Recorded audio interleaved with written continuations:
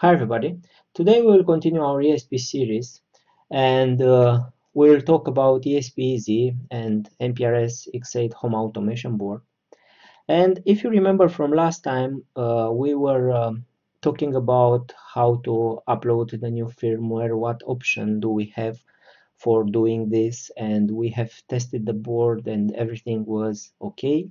So we went after that through the step of uh, configuring the ESP firmware and we uh, put together if you want all the, the parameters that we need for uh, smooth running.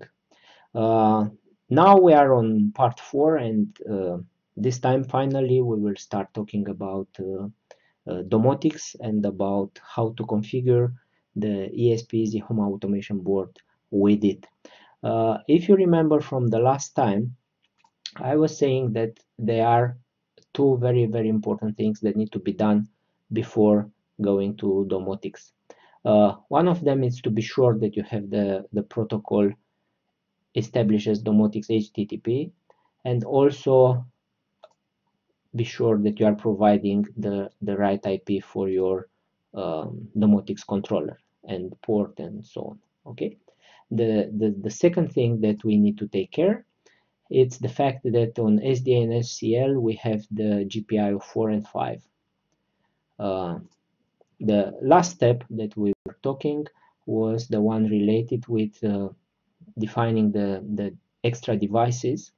So basically here the, it's the place where we are defining uh, the drivers for our MPRS X8 board. And if you remember, we have done only the first one as a uh, example because this is a quite uh, long repetitive process that is done for all eight um, relays or all eight used channels. So it was really doesn't make sense to uh, waste time with. So what we have here we have defined all the relays. So as you can see for each relay we have a specific port and a specific IDX variable. This is very very important uh, the port is fixed. So this one if you want are hard coded and these are specific for MPRS X8 board. And the IDX variable it really depends on your setup. So uh, you need to keep them in mind because we need to use them when we will start defining the devices in the Domoticz yeah? So for MPRS uh, X8 uh, home automation board we have the following values for the relay X1, it's port 69 IDX1. For relay X2, it's port 70 IDX2. For relay X3, it's 71 and IDX3. For relay X4, it's 72 IDX4. Let's go also on the next page because we have uh, 8 in total. X5, it's 65 with 5. X6, it's 66 with 6 x7 it's 67 with 7 and x8 it's 68 with 8 okay? So with all these values in place and with the configuration done we should be able to access and properly switch the MPRS uh, X8 uh, channels yeah? So for example let's choose uh, let's go on the first page and choose the first one. It's port 69 yeah so 69 we will uh, send the 0 and as you can see here the corresponding LED channel it's off yeah? Uh, let's go uh, to the next channel. It's 70 you see that the second one it's now off. 71 the third one it's now off. And 72 the fourth one is off. Yeah? So we have now all the four channels off. Uh, it's obviously that it's working in the same way for for the next four ones. So if we are going on five it's off. On six it's off. On seven it's off. On eight it's off. Yeah? So now we can see all the eight channels are off. Uh, please keep in mind, and it might be a good idea to go back and uh, take a look on the um, um, hardware presentation of, of the MPRS X8 board that these LEDs uh, are used if you want as a standard industrial panel signaling so when the LEDs are off that means that the channels are on and when the LEDs are on then all the channels are off I explained uh, a little bit in that video why I choose to do it in this way and why I consider it uh, more safer than the normal signaling way. Uh, in terms of Domoticz, it's no problem at all. You can choose the signaling in Domoticz to correspond with this status panel or you can choose obviously to have uh, on in Domoticz when the channel is on and off in Domoticz when the channel is off. But this panel this status panel will remain the same. Yeah this is from my point of view let's say the the lifesaver of the person that will will work on the main slides. Yeah okay so now let's go back and switch them back on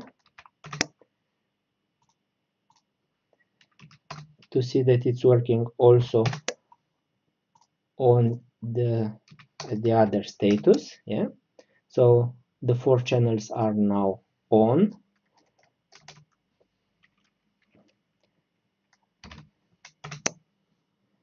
Sixty-nine, seventy, seventy-one, and now 72 okay so now we can say that um, all eight channels are, are properly configured and we can access them properly without uh, any related problems okay so now finally it's time to to go to Domoticz.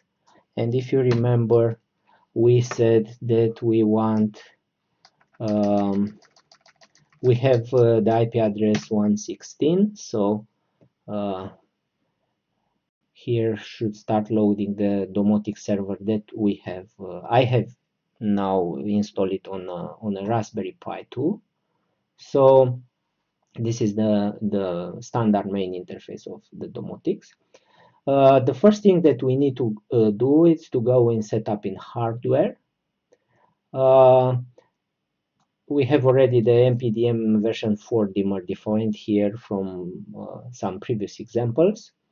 Um, first thing that we need to do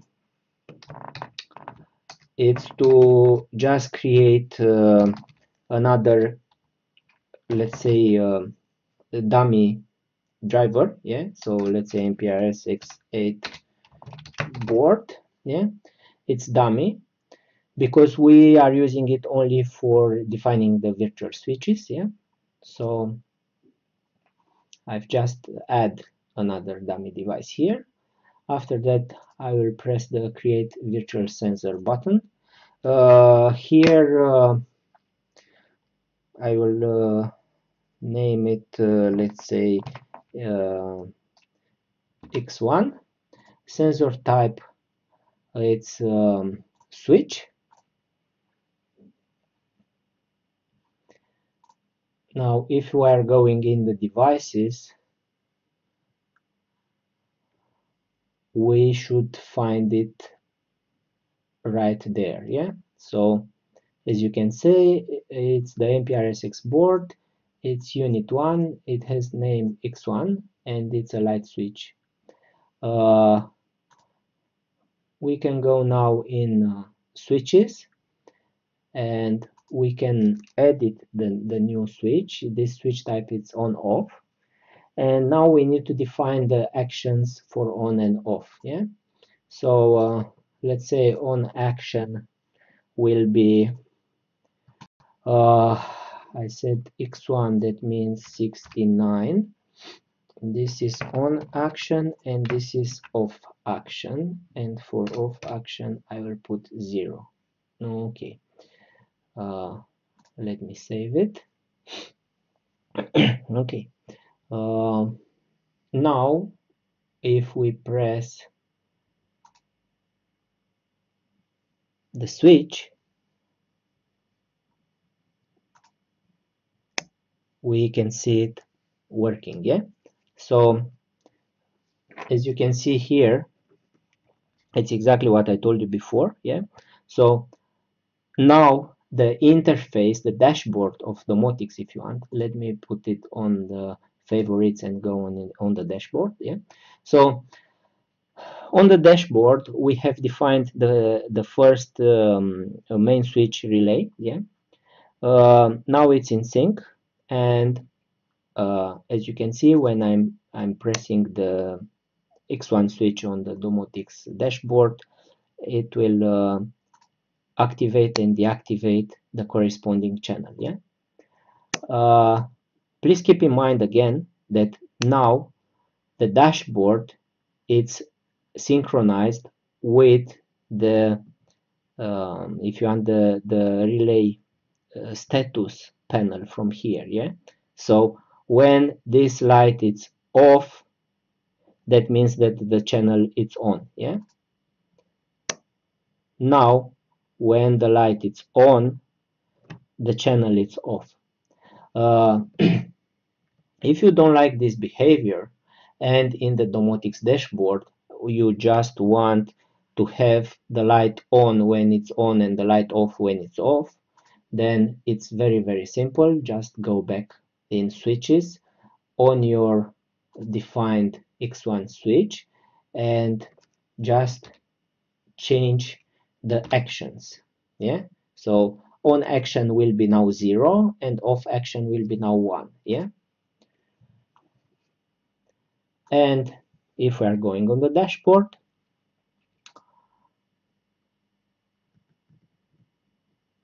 we will see that it, it will start working as we want it. So now as you can see light is off. The corresponding mains it's off it switch it off and the light it's on yeah? Now when i'm pressing the switch on the dashboard the led is going off and this is uh, very good that it's signaling me that the the um, channel it's on now. And the the light bulb if you want the light bulb sign on the dashboard it's remaining on yeah? So these are just the two options. It really depends how you want to to implement your dashboard uh, if you want it uh, to signal you the the lifeline or the offline it's obviously up to you. I'm just showing you that you have different possibilities. So it's it's more flexible if you want from this point of view. And of course this uh, panel will give you will continue giving you the the status in the way that I explained already. Yeah? Okay. So this is how you you can configure a channel. Uh, we can go obviously and we can uh, Uh, configure even more. So let me create another sensor x2 it's switch. Let's create another one x3 it's switch.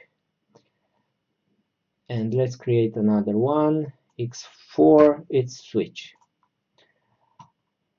And now if you are going in the devices we will find them all here yeah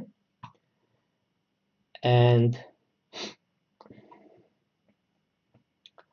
uh, let's go now in switches.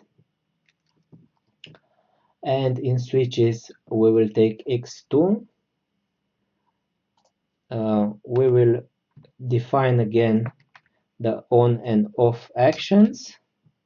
0 1 um, 70 70 let's save it. X2 let's take a look what's happening on x2 as you can see it's switching on yeah? So the LED will become off. This channel is working okay. Um, let's go on the next one 0 1 uh, 71 71 save. This is x3 if we are pressing now the x3 one it's on and the status LED it's obviously off. And now let's go to the fourth one. We have now 72 72 save. And let's see the, the status of the fourth one. It's working okay. Now we can add all the four on the favorites and let's see how it's looking the dashboard yeah? So as you can see very very quickly we have defined four channels. Uh, in the same way we can define also the, the other four but uh, I think it's enough for this example to show you the, the four channels. The other ones are done in the same way so it's nothing different. So let's see how they are working how they are reacting. I'm pressing x1 x2 x3 x4 and now all the four channels are off. And of course all the four status LED are on. Yeah? Let's try again.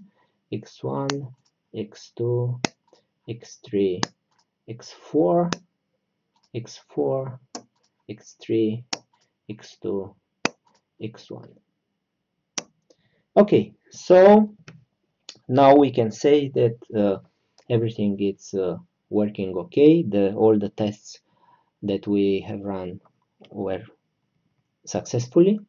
So that's it. Uh, we we just finished our uh, uh, domotic setup. As you have seen um, because of the hardware design of the MPRS X8 board and the fact that it's fully compatible with the ESP-easy firmware that it's working so well with Domoticz uh, everything has become very very simple and very very easy to implement. Uh, I want to uh, thank you all for the fact that you are watching at my tutorials and if you like them please give me a big thumbs up and also please subscribe. Thank you very much and see you next time